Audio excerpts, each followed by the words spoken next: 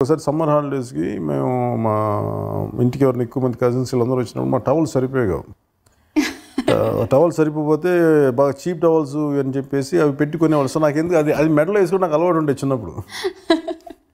అంటే ఏదో ఒక అంటే అప్పుడు నాకు ఏదో షాల్ కప్పుకోవాలి ఏదో ఏదో ఒక ఏదో ఏదో అమితాబ్ బచ్చన్ చూసి ఏదో అప్పుడు పాత సినిమాలు ఇట్లా ఇది మన కూలీలో వేసుకుంటాడు మేబీ అది అనుకుంటా. అసలు నాకు దొరికింది అప్పుడు నాకు అప్పుడు మాకు టవల్స్ ఉంటాయి కదా కొంచెం పలుచుకుండే నాకు దాన్ని ఏమంటారు మన స్కార్ఫ్ లాంటిది. ఓకే సో నాకు అది అది నాకు అది వేసుకుని ఉండేవాడిని. సో నాకు అది నాకు ఎందుకు ఈ వేసుకుంటే నాకు ఏది వెల్తీగా ఉంది ఇంకేది సరిపోవట్లేదు దీనికి ఏది కావాలని చెప్పి నాకు ఆ- బట్ట వేసుకుంటే బాగా అనిపించింది. అలాగే బెల్ట్ కూడా ఒక బెల్ట్ పెట్టుకుని ఇంకా సరిపోవట్లేదు ఇంకేది ఇంకా పక్కన పాత బెల్ట్లు ఉన్నాయి ఇంకో బెల్ట్ తీసుకో. అవి కూడా నాకు కొమరంపుల్ డ్రెస్సులు యాక్చువల్గా